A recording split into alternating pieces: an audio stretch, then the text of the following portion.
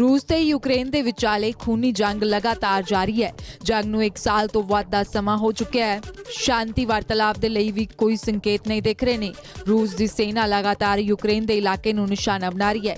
Putin ਦੇ ਸੈਨਿਕ ਹੁਣ ਯੂਕਰੇਨ ਦੇ ਬਖਮੁਤ ਸ਼ਹਿਰ ਨੂੰ ਟਾਰਗੇਟ ਕਰ ਰਹੇ ਨੇ।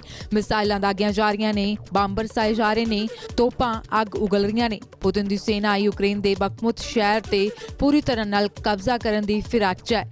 ਲਗਾਤਾਰ ਹਮਲੇ ਕੀਤੇ ਜਾ ਰਹੇ ਨੇ। ਮੰਨਿਆ ਜਾ ਰਿਹਾ ਹੈ ਕਿ ਕਾਫੀ ਲੰਬੇ ਸਮੇਂ ਤੋਂ ਰੂਸ ਇਸ ਸ਼ਹਿਰ ਤੇ ਕਬਜ਼ਾ ਕਰਨ ਦੀ ਕੋਸ਼ਿਸ਼ ਕਰ ਰਿਹਾ ਹੈ। ਇਸ ਬੰਬਾਰੀ ਦੇ ਵਿਚਾਲੇ ਸ਼ਹਿਰ ਦੇ ਲੋਕ ਦਹਿਸ਼ਤ 'ਚ ਨੇ ਤੇ ਉਹ ਆਪਣਾ ਘਰ-ਬਾਰ ਛੱਡ ਕੇ ਪੈਦਲ ਹੀ ਭੱਜਣ ਨੂੰ ਮਜਬੂਰ ਨੇ।